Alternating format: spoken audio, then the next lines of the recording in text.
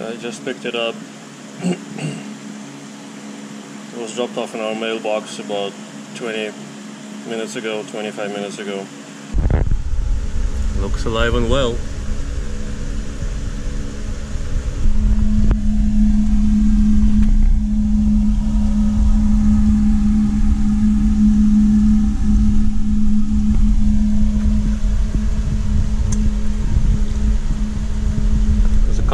Marks on the back. I don't know what those are, looks like injuries.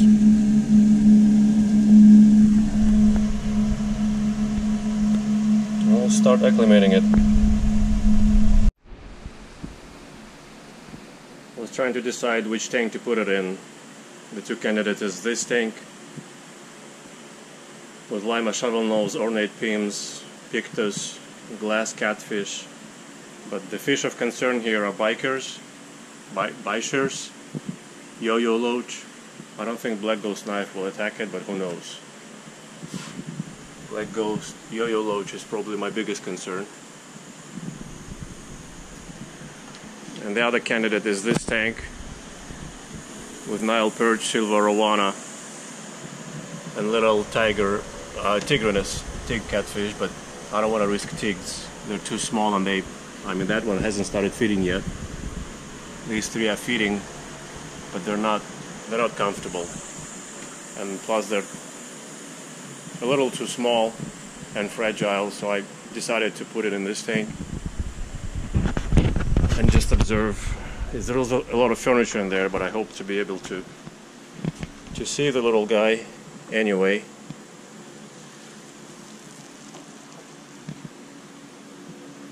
There you go, sweetie.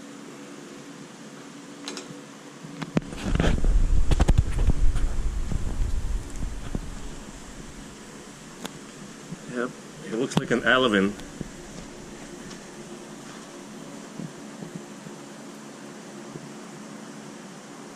A larva of eel. Yeah, there's a pretty good sized scrape on there. Right where the pelvic fins are. So those probably the prior owner had I mean the seller had had them together at some point or something or maybe it scratched itself on the decoration who knows? Hopefully you'll find a nice little nook huddle up and get comfortable.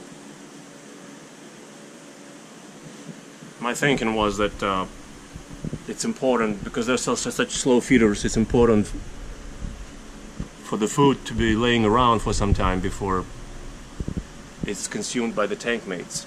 So that other tank was perfect. But because of the tig cat tig tigs, I didn't want to put them there. I'm gonna have to put more food in here so that it lays around a little longer for the little lungy to come over and get it. Also, I I'm concerned because we did have four lungfish before. Our biggest was 40 inches. West African, the same as this one.